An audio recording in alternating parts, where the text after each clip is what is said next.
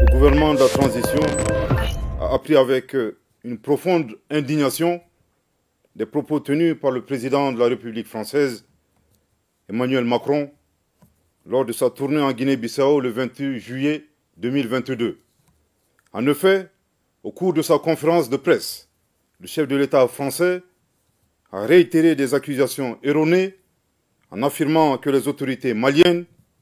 entretiennent des relations avec un groupe paramilitaire sans jamais apporter de preuves, malgré les démentis des autorités de la transition. Pire, dans ses propos, il a évoqué l'exercice de la violence par les autorités maliennes, ciblant une ethnie spécifique de notre nation. Le gouvernement de la transition condamne avec la dernière rigueur ces propos haineux, diffamatoires du président français et prend à témoin l'opinion nationale et internationale